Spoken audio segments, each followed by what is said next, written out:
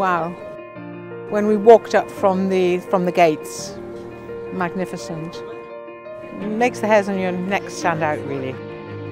And I was like, whoa, it's that big. So yeah, it's, it's pretty impressive, really. I can't stop looking at it. It's so beautiful, isn't it?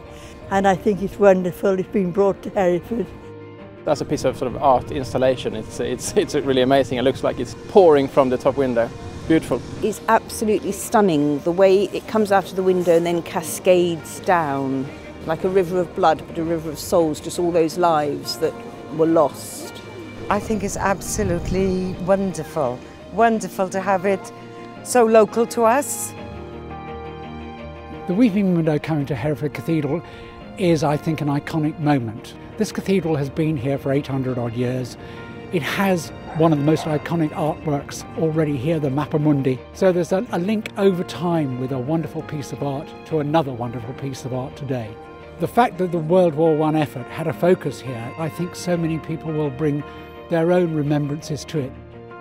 I always think all those mothers who lost all those sons, but they also lost daughters as well. A lot of the flowers are, are random. It's not all one level. So it kind of gives it more individuality as well. I think visually for children to be able to see, to touch that art, that uh, extra dimension, if you like, helps them to connect. With pupils at Hereford Cathedral School, we had 70 old Herefordians who fell during the conflict, and I think it's absolutely beautiful. It's quite overwhelming, especially with the tie with the school. It helps bring generations together easier because it's a focal point.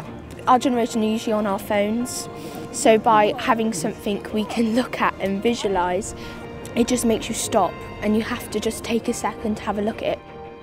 I think art's such a good way of connecting people um, and I think different people can take away different things from it and just kind of starts conversations and then you get to share and talk to your family about it and learn things that maybe you wouldn't have learned. People don't appreciate just how much art can bring to one's life and to express opinion and beliefs and it's wonderful to see something like this here.